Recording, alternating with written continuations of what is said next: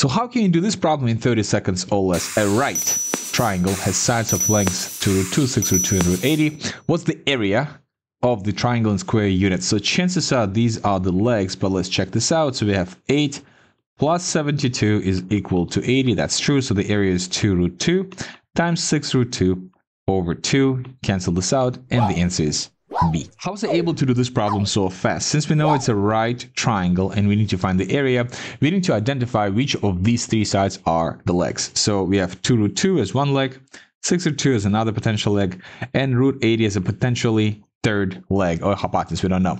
So let's assume 2 root 2 and 6 root 2, those are legs. And let's proceed with the a squared plus b squared is equal to c squared, Pythagorean theorem. So 2 root 2 squared plus 6 root 2 squared is supposed to be equal to root 80 squared.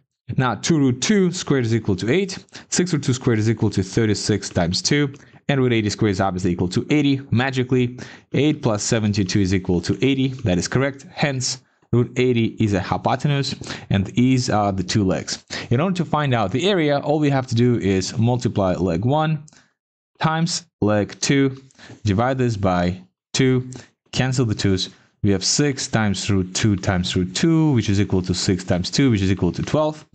The answer is B. That's it.